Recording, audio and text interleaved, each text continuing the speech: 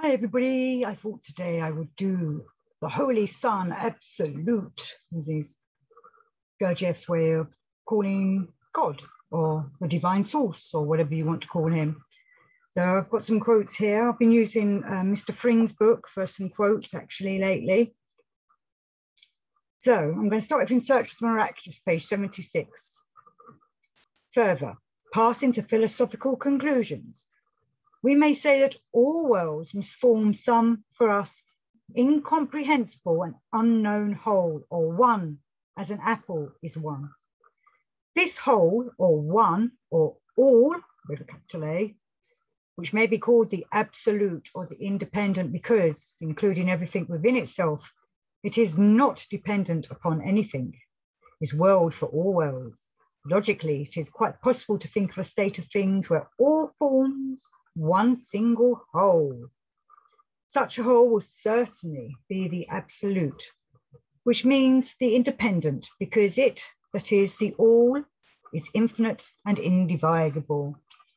And for many of you that study theology or have looked into all the different faiths and religions and their views of God, the divine source, the most common answer to him is, or she is, depending on what you want to think of God as, is indefinable because we do not actually know what the divine source or the sun Absolute is. But one thing we do know is that it is the whole, it is everything, it is the all, which is what Ouspensky is being passing on to us here. And I think this is what Gurdjieff's getting towards as well. You know, this, the Holy Sun Absolute, which is where the divine lives, or the holy, is endlessness. The absolute is everything. Everything comes from the divine source. And as it comes down from the divine source and goes through the different worlds and different planets and through the cosmology, it um, you know, is getting further and further away. So that connection is weaker and weaker and weaker, which is why we have to work so hard on ourselves to rebuild that connection back to the divine source. So just continuing with research of the miraculous, page 84, where Ouspensky is talking all about the different worlds and the cosmos is. In world three, the absolute creates, as it were, a general plan of all the rest of the universe, which is then further developed mechanically. The will of the absolute cannot manifest itself in subsequent worlds apart from this plan. And in manifesting itself in accordance with this plan, it takes the form of mechanical laws. So, you know, the divine source's endlessness is on number one planet, where there's the fewest laws, probably, I think it's three, maybe laws. Anyway, as the planets come out, move further and further away, they get more and more laws, which is why our planet Earth has so many laws on it for us to mingle our way through and, and uh, the more we become attuned, become whole, become connected to the divine, the less them laws will act upon us. Because hopefully we're coming out of the law of accident and going into the law of fate and being attuned to the universe. So we're not caught up in all the chaos and all the accidents that are going on throughout this realm. So in all of and everything, page 52, Gurdjieff writes, he has been taken into service on the Sun Absolute, where our Lord, a sovereign endlessness, has the fundamental place of his dwelling. So his sovereign endlessness lives on the Sun Absolute. It's like the, the heaven, the holy divine house is where they're staying, he's staying, it's staying, you know, while he's uh, hiding away from time that's eating away at the universe. And he goes on to say on page 54, when a messenger from our endlessness, a certain Ashiata Shiemash, I've done lots of shows on Ashiata Shiemash, some on my own and some with Josh. Please look through the videos. Right.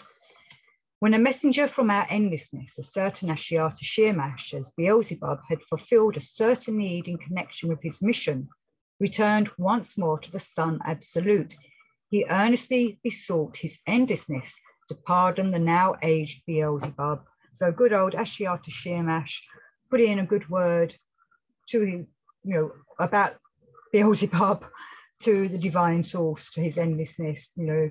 And those that have read the book, all and everything, Beelzebub's tales to his grandson, know how it all turns out. And I'm not going to do any spoilers here. It's very important to read the book. Page 60 to 61 of All and Everything. Higher being bodies, the souls, arise in the free brain beings breeding on all the planets except those before reaching which the emanations of our most holy Sun Absolute, owing to repeated deflections, gradually lose the fullness of their strength and eventually cease entirely to contain the vivific power for coating higher being bodies. So as I was saying, you know, the further you are away from the divine source, from the sun absolute, the further you are on a different planet, far along in the cosmos, the less you're going to get them emanations, which is why we have to work harder on ourselves so that we reach out, we reach out to the divine. And page 136 of All and Everything. This most great common cosmic trogo auto egocratic process was actualized by our endless uni being when our most great and most holy Sun Absolute had already existed, on which all our gracious endless creator had and still has the chief place of his existence. So, you know, his endlessness lives on the Holy Sun Absolute. And, you know, he set the cosmic plan into motion, the Trogoautoegocrat, and how it affects us, the law of three and the law of seven. We work on ourselves, like I've been saying, to get back in touch with his endlessness and the Sun Absolute. We're attaining to get to the Sun Absolute and to do the work of that. We have to do our self-remembering and our, you know, looking at ourselves and all the other exercises I've been putting out and all the other shows and the shows I've been working with with Josh and Tony. You know, this is the work we're doing, the work with a capital W. So all and everything, page 769. One end of this line is marked as the total absence of any reason, i.e. absolute firm calm. And at the other end, there is indicated absolute reason, i.e. the reason of our incomparable creator endlessness. So the divine source, his endlessness, God, whatever you want to call him, has a reason has a reason for everything of why he puts this universe into motion. Those of you that have read all and everything know it's to do with time, and time's eating away at his, uh, his the sun Absolute. So he put the universe into motion, created it all, and put it into motion to, in a way, distract time. Tick tock, tick tock, tick tock. But I put that very simply. Obviously, if you read the book, goes into far more detail about it and why this is going on, what's happening um, is time our enemy or not? Or is time the reason? Well, time is the reason why this universe was put into place and such like. So, again, it's really going back to the source and reading the books and can't go on enough about reading all and everything. There's loads of audio versions up there if you don't want to read the book. You know, different people have done audio versions, myself, Tony Blake, Harold Good, loads, there's loads up there. You can find them um, you know, listen on your podcast and you're going to work, going for a job, whatever. But reading the book really will make you a difference, make a difference for you in understanding the Gurdjieff work. So back to views um, from the real world, page 66 and 67. Science cannot look further, but listen, but oh, let me start that again. Science cannot look further, but philosophical thought will see the ultimate principle lying beyond all worlds, that is the absolute, known in Hindu terminology as Brahman. So you can find all these ideas in all, well, these theories, these truths in all the religions, but they just come under different names. And, um, you know, as you look into them, you'll see connections to everything. There's an underlying ultimate ancient wisdom truth to everything that's in all religions and cultures. And obviously, over the centuries and the years, religions have been changed by various people. but the underlying truth and the ancient truths always go back to the source. The beginnings normally have the truth in them, and what's being put forward these days are different people's theories of things and ideas which is why I try not to speculate too much on what I think is going on in All and Everything or in Gurdjieff's writings or in Ouspensky's. I like to try and read the quotes and okay, then I'll ponder a little bit on it. And if I give you the direct quotes, that will hopefully encourage you to go and read the books. And continuing views from the real world, the outer circle designates the philosophical principle of all things, the absolute.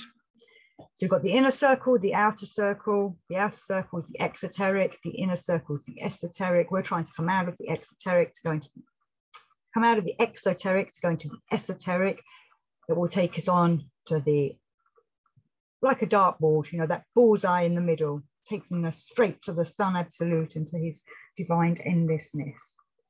So I just wanted to do a little little bit about law of accident, just very quickly. So from In Search of the Miraculous, page 133. The man machine is in the power of accident. We're trying to get out of the power of accident when we go into the law of fate, which is by tuning and working on ourselves. And all and everything says on page 908 it often happens that while existing together, destiny for any separate individual in the process of his personal existence turns out for him personally to be absolutely unjust. But for all the others existing together with him, there are obtained from this, in the objective sense, an abundance of just fruits. And that's what we're aiming to get at, our just fruits. You know, we all want rewards for putting in the work, and some days we're doing the work. We might think, oh, I'm not getting any ticks for this, but you are because you're working on yourself. And the more you do it, but that's rubbish what I've just said. Every time you work on yourself, you get results. Always. so, with all and everlasting love to you all, stay in tuned with Gurdjieff work.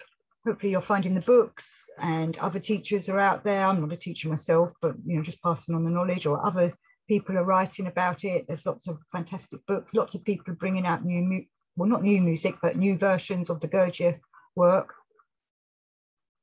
Um, and the Gurdjieff music, always fantastic to listen to, along with reading the books. So, till next time, peace and out.